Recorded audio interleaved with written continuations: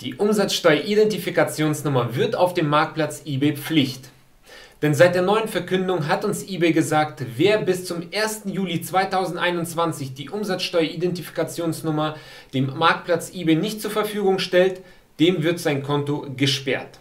Ich heiße dich herzlich willkommen auf dem Kanal Erfolgreich Verkaufen. Mein Name ist Alex, es freut mich, dass du wieder dabei bist.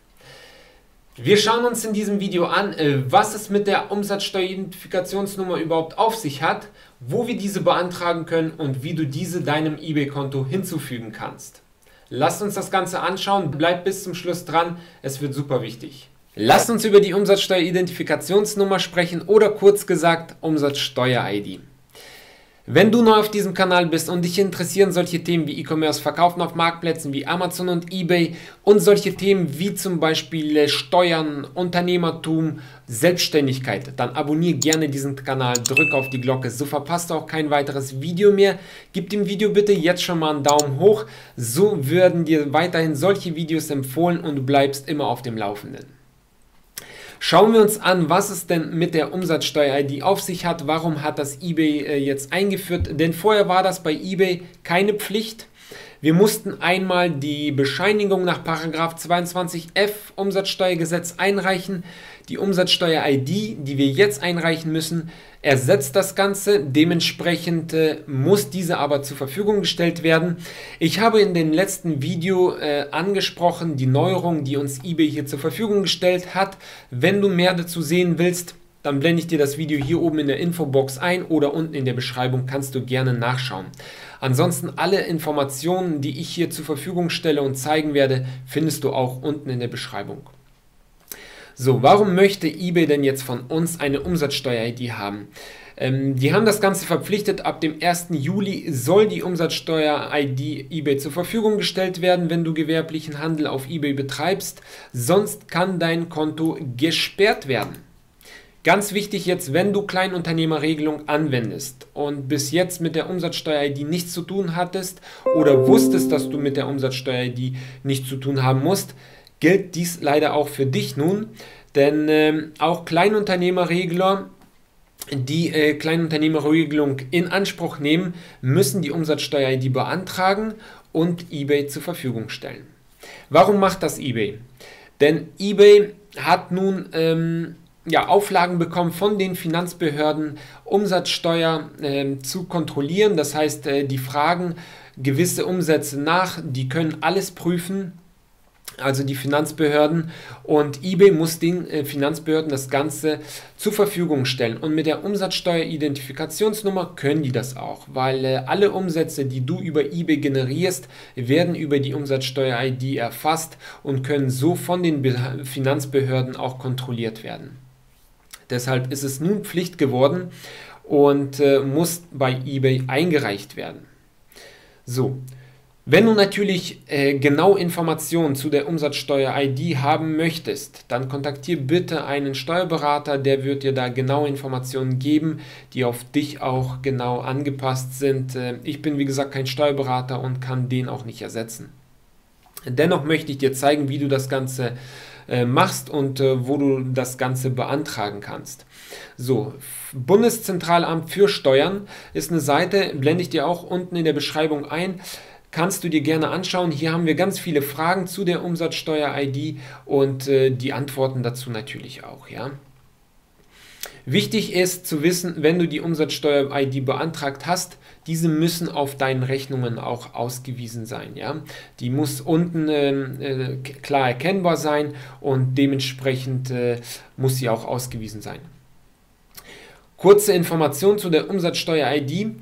Mit der Umsatzsteuer-ID kannst du als umsatzsteuerpflichtiger Unternehmer, Verkäufer aus dem Ausland, heißt also innergemeinschaftliche Lieferungen, umsatzsteuerfrei beziehen. Das heißt, du hast einen Kontakt aus dem Ausland, mit dem du zusammenarbeitest. Wenn du ihm eine Umsatzsteuer-ID zur Verfügung stellst, dann kann er dir eine Rechnung bzw. Ware ohne die Umsatzsteuer, die für das jeweilige Land gilt, verkaufen. Das heißt, du bekommst die Ware günstiger im Sinne von ohne die Steuer. So kurz nebenbei dazu gesagt. Wie gesagt, alle Informationen, die ich hier zur Verfügung stelle, kannst du unten in der Beschreibung auch nachlesen. Hier hast du ganz viele Fragen und Antworten dazu dementsprechend. Sind dir manche Dinge dennoch unklar, kannst du gerne die Kommentarfunktion nutzen. Ich werde dir versuchen zu helfen. So kommen wir zu dem wichtigsten Punkt. Wo beantrage ich die Umsatzsteuer-ID? In erster Linie kannst du die Umsatzsteuer-ID mit dem Steuererfassungsbogen beantragen, den du bei deiner Gewerbeanmeldung äh, mit an das Finanzamt übergeben musst. So, da gibt es ein äh, Häkchen, was du ankreuzt und da äh, bekommst du dann eine Umsatzsteuer-ID äh, zugewiesen. Nun ist es so, wenn du damals Kleinunternehmerregelung hast, hast du die eventuell nicht benötigt oder nicht beantragen wollen, dann äh, kannst du es jetzt im Nachhinein tun, was du auch musst, um weiterhin bei eBay zu handeln. Und äh, diese Seite habe ich dir unten, wie gesagt, auch in der Beschreibung verlinkt. Klickst du drauf und hier machst du den Antrag zur Umsatzsteueridentifikationsnummer. Du suchst dir dein Bundesland aus. Ich habe hier mal eben Berlin gewählt.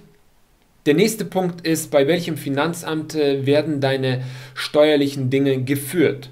Ja, das müsstest du ungefähr wissen, wenn du schon mal eine Steuererklärung gemacht hast oder oder wer für dich zuständig ist. Ansonsten reicht es, wenn du dein Finanzamt eben kontaktierst und fragst, welches Finanzamt ist denn für mich zuständig. Dann wählst du demnach das hier aus. Wenn du dann dein zuständiges Finanzamt ausgewählt hast, werden die ersten beiden Felder schon mal ausgefüllt und dann musst du nur noch deine Steuernummer ergänzen, die du auf deinen steuerlichen Unterlagen äh, finden kannst. Du hast sicherlich schon irgendwas äh, vom Finanzamt bekommen, da findest du auch die Steuernummer, demnach werden diese schon ergänzt und du musst nur die restlichen Zahlen hinzufügen. Und dann der ganz wichtige Punkt ist natürlich deine Rechtsform deines Unternehmens.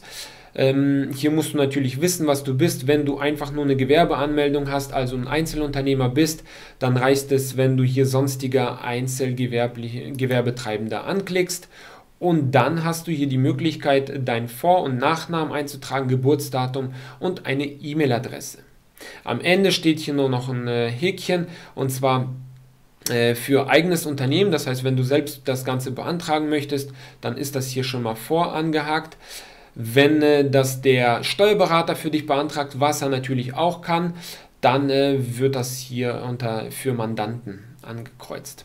So, dann kannst du das Ganze hier nämlich ausdrucken und äh, das Ganze hier als PDF dann äh, dir herunterladen und diesen Anmeldebogen, den schickst du dann deinem Finanzamt zu, was für dich zuständig ist, postialisch denn auch die Umsatzsteuer-ID wirst du auch über den Postweg erhalten. Das heißt, es wird nicht per E-Mail irgendwie mitgeteilt oder wie auch immer, sondern nur per, auf dem Postweg, das heißt per Brief nach Hause und äh, da wirst du deine Umsatzsteuer dann ID bekommen. Beantrage das Ganze rechtzeitig, so dass du auf jeden Fall vor dem 1. Juli 2021 deine Umsatzsteuer-ID hast. Sonst kann es da Probleme geben und eine Kontosperrung drohen bei eBay. Kurz noch zu den Kosten. Das Ganze zu beantragen kostet überhaupt nichts, also ganz komplett kostenlos und ähm, demnach ist es ist super einfach. In der Regel, meiner Erfahrung nach, äh, zwei bis drei Wochen äh, solltest du dann deine Umsatzsteuer-ID bekommen. Vielleicht kann es auch mal vier Wochen dauern. So, kommen wir noch zu dem Punkt, wo fügen wir denn die Umsatzsteuer-ID bei eBay ein, so dass wir da auf der sicheren Seite sind. Und zwar, wenn du dann hier oben gehst auf Kontoeinstellungen, dann kommst du zu äh, diesem Fenster hier, dann Kontoeinstellungen und dann auf Einstellungen. Und dann, wenn du dein gewerbliches Konto natürlich so auch gewerblich führst, gehst du ein bisschen weiter runter und hier haben wir die Steueridentifikationsnummer bearbeiten, den Punkt. Und hier klickst du dann auf Bearbeiten rechts und hier hast du dann die Möglichkeit, deine Umsatzsteuer-ID hinzuzufügen. Du wählst dein Land aus, dann wird schon mal äh, das DE vorgeschrieben und dann musst du nur noch die Ziffern eintragen. Hast du mehrere Steuer-IDs, dann äh, kannst du das Ganze hier nämlich hinzufügen. Oh, da hat er schon, also er prüft direkt schon, wie wir sehen, ähm, ob eine Umsatzsteuer, die gültig ist. In der Regel, oh, die ist sogar gültig tatsächlich. Hier kannst du dann zum Beispiel, wenn du auch für Österreich eine beantragt hast, was du natürlich nicht musst, kannst du hier auch weitere Umsatzsteuer-IDs hinzufügen bei eBay. Und die Umsatzsteuer-ID wird dann auch in deinem Impressum unten bei deinen Angeboten angezeigt. So bist du dann auf der sicheren Seite auf jeden Fall. Wie gesagt, nicht vergessen, die Umsatzsteuer-ID muss dann auch auf deinen äh, Rechnungen aufgeführt werden. Das ist dann rechtlich auch Pflicht. Und sonst äh, war es das eigentlich dazu. Wie gesagt, äh, wenn du genau Informationen brauchst, äh, dann kontaktiere einen Steuerberater, der wird dir das Ganze dann natürlich ein bisschen genauer erklären können. So viel von mir. Wenn du solche Videos nicht weiter verpassen möchtest, dann abonniere gerne diesen Kanal, drücke auf die Glocke, so bleibst du immer auf dem aktuellen Stand. Und wenn du es noch nicht getan hast, gib dem Video gerne einen Daumen hoch, so wirst du wie gesagt äh, deinen Algorithmus einstellen und weitere solche Videos bekommen und hilfst auch anderen dabei, weil du anderen dieses Video empfiehlst. Ich bedanke mich fürs Zuschauen, freue mich, wenn du beim nächsten Video dabei bist. Viel Erfolg beim Verkaufen. Ciao.